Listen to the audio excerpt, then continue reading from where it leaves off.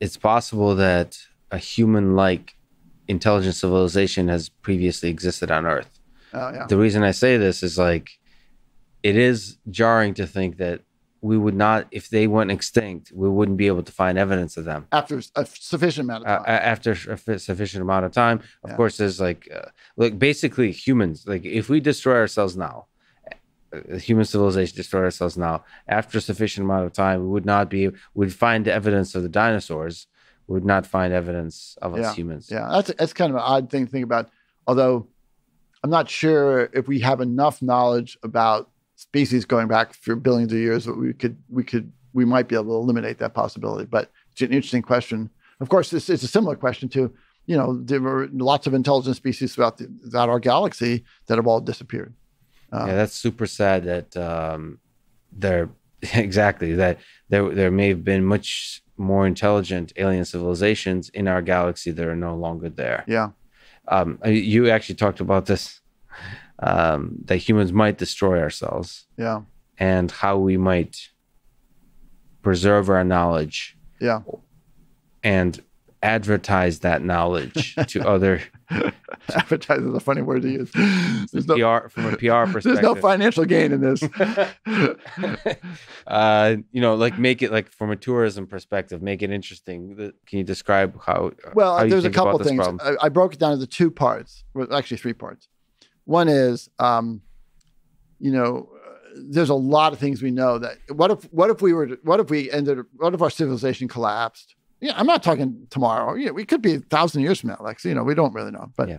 but historically, it would be likely at some point. Time flies when you're having fun. Yeah, that's a good way to put it. Um, you know, could we? And then then intelligent life evolved again on this planet. Wouldn't they want to know a lot about us and what we knew? Wouldn't they wouldn't be able to ask us questions? So one very simple thing I said, how would we archive what we know? Mhm. That was a very simple idea. I said, you know what? It's that wouldn't be that hard. Put a few satellites, you know, going around this, the sun, and we upload Wikipedia every day and um, that kind of thing. Uh, so you know, if we end up killing ourselves, well, it's up there, and the next intelligent species will find it and learn something. That would be they would like that. They would appreciate that. Um, uh, so that's one thing. The next thing I said, well, what if you know, how outside outside of our solar system, we have the SETI program. We're looking for these intelligent signals from everybody, and if you do a little bit of math, which I did in the book, uh, and you say, well, what if intelligent species only live for ten thousand years? before, you know, technologically intelligent species, like ones that are really able to do the stuff we're just starting to be able to do. Um, well, the chances are we wouldn't be able to see any of them because they would have all been disappeared by now. Um, they would, they've lived for 10,000 years and now they're gone. And so we're not going to find these signals being sent from these people because, um, but I said, what kind of signal could you create that would last a million years or a billion years? That someone would say, damn it, someone smart lived there. That- Yeah. We know that. That would be a life changing event for us to figure that out. Well, what we're looking for today in the SETI program isn't that. We're looking for very coded signals in some sense. Um, and so I asked myself, what would be a different type of signal one could create? Um, I've always thought about this throughout my life. And in the book, I gave one, one possible suggestion, which was um, uh, we now detect planets going around other, other suns, uh, other stars uh, excuse me. And we do that by seeing this the the slight dimming of the light as the planets move in front of them. That's how uh, we detect uh, planets elsewhere in our galaxy. Um, what if we created something like that that just rotated around our, our our around the sun and it blocked out a little bit of the light in a particular pattern that someone said, "Hey, that's not a planet. That is a sign." That someone was once there. You can think, what if it's beating up pi, you know, three point whatever. whatever. Um, so the idea From a that- distance, you can. you it, can- from a distance, broadly broadcast, takes no continual activation on our part. This is the key, right? No one has to be sitting here running a computer and supplying it with power. It just goes on. So we go, it continues. And and I argued that part of the SETI program should be looking for signals like that. And to look for signals like that, you ought to figure out what the how would we create a signal?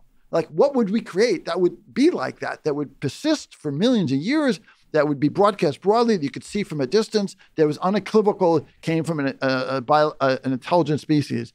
And so I gave that one example um, because they don't know what I know of actually. And then and then finally, right, if if our ultimately our solar system will die at some point in time, you know, how do we go beyond that? And I think it's possible. If at all possible, we'll have to create intelligent machines that travel throughout the throughout the, the, the solar system or throughout the, the galaxy. And I don't think that's going to be humans. I don't think it's going to be biological organisms. So these are just things to think about. You know, like Mhm. what's the old, you know, I, I don't I don't want to be like the dinosaur. I don't want to just live and like, okay, that was it, we're done. You know. well, there is a kind of presumption that we're going to live forever, which uh, I, I think it is a bit sad to imagine that the message we send, as uh, as you talk about, is that we were once here instead of we are here. Well, it could be we are still here, uh, but it's more of a it's more of an insurance policy in case we're not here. You know. Well, th- I don't know, but there's something I think about. We, we as humans don't often think about this, but it's like uh, like whenever I um, record a video, I've I've done this a, a couple times in my life. I've recorded a video for my future self, just for Mhm. personal, just for fun, and it's always just fascinating to think about that preserving yourself for future civilizations. For me, Yeah. it was preserving myself for future me, but that's a little that's a little fun example Yeah. of archival. Well, these podcasts are, are, are preserving you and I In a way, yeah. uh, for future. Um, hopefully, well after we're gone. but you don't often we're sitting here talking about this you are not thinking about the fact that you and i are going to die and there'll be like 10 years after somebody watching this and we're still alive You know, in, in some sense, I do. I'm here because I want to talk about ideas, Right. and these ideas transcend me, Mhm. and they transcend this time in in on our planet. Um, we're talking here about ideas that could be around a thousand years from now or a million years from now. I when I wrote my book, I had an audience in mind, and one of the clearest audiences was, was peop- aliens no, were people reading this a hundred years from now. yes I said to myself, how do I make this book relevant to someone reading this a 100 years from now? What would they want to know that we were thinking back then? What would make it like that was an interesting, it's still an interesting book. Mhm. Uh, I'm not sure I can I achieve that, but that was how I thought about it because these ideas, like especially in the third part of the book, the ones we were just talking about, you know, these crazy, it sounds like crazy ideas about, you know, storing our knowledge and, and, you know, merging our brains with computers and, and sending, you know, our machines out into space. These are not going to happen in my lifetime. Um, and they may not even happen in the next hundred years. They may not happen for a thousand years. Who knows?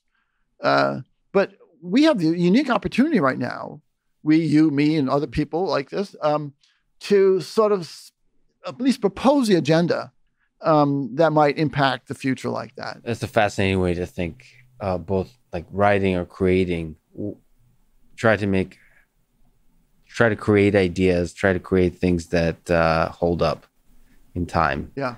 You know, understanding how the brain works, we're going to figure that out once. That's it. It's going to be figured out once. And after that, that's the answer. And people will people will study that thousands of years from now. We still we still, you know, venerate Newton and, and Einstein.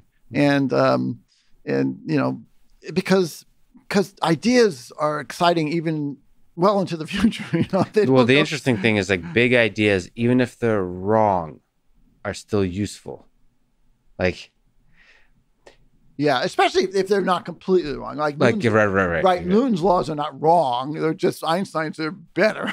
right? So, um, Well, it's, so yeah, I I mean, but we're talking with Newton and Einstein. We're talking about physics. I wonder if we'll ever achieve that kind of clarity about understanding, um, like complex systems and the this particular manifestation of complex systems, which is the human brain. oh, I, I'm I'm totally optimistic we can do that. I mean, we're making progress at it. I don't see any reason why we can't completely. I mean, completely understand in the sense, um, you know, we don't really completely understand what all the molecules in this water bottle are doing, but you know, we have laws that sort of capture it pretty good. Um, and uh, so we'll have that kind of understanding. I mean, it's not like you're going to have to know what every n- neuron in your brain is doing.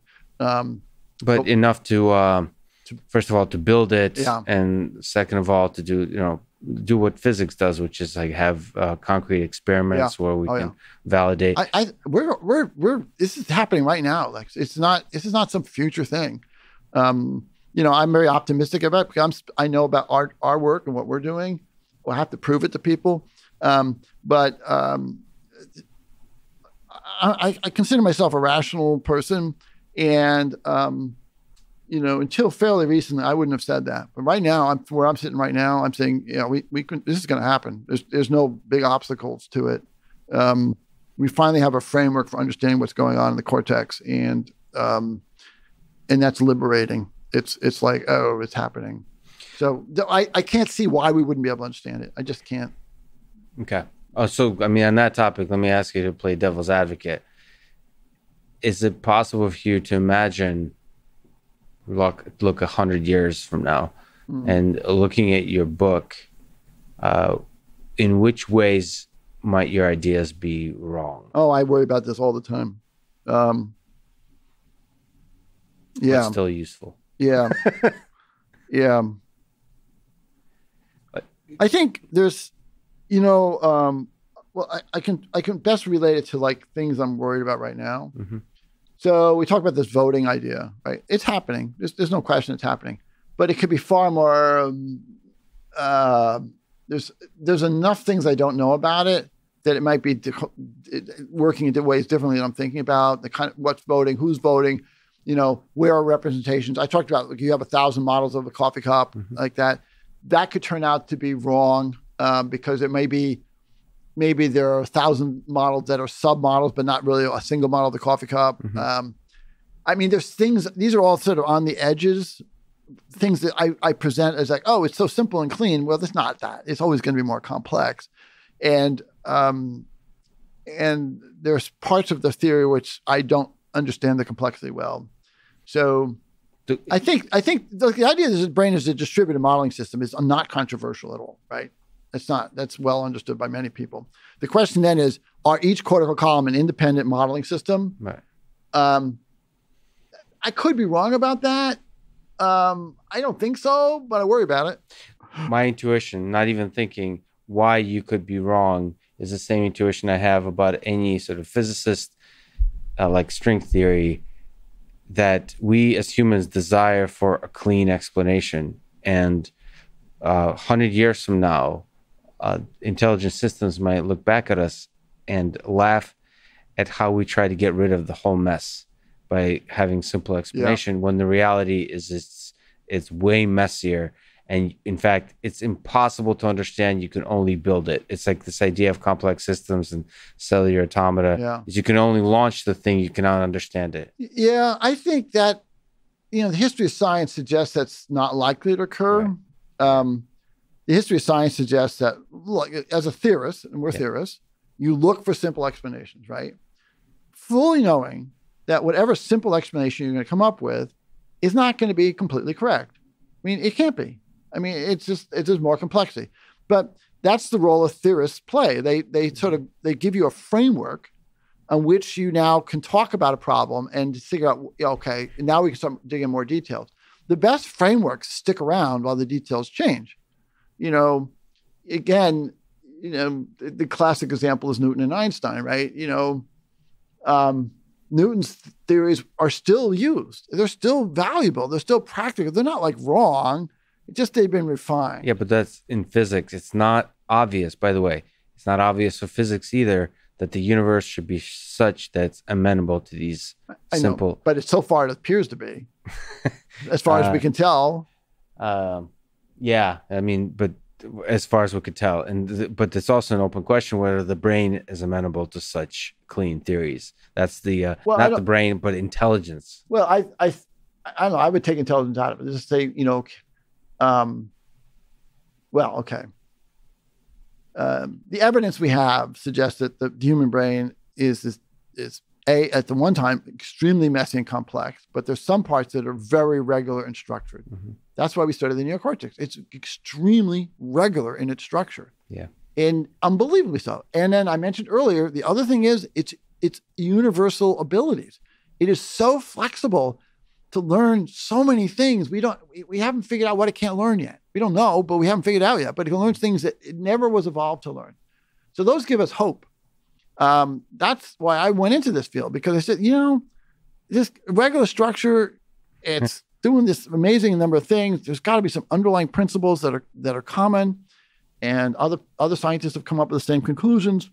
Um, and so, so, it's promising. It's promising, yeah. and um, and that's and whether the theories play out exactly this way or not, that is the role that theorists play.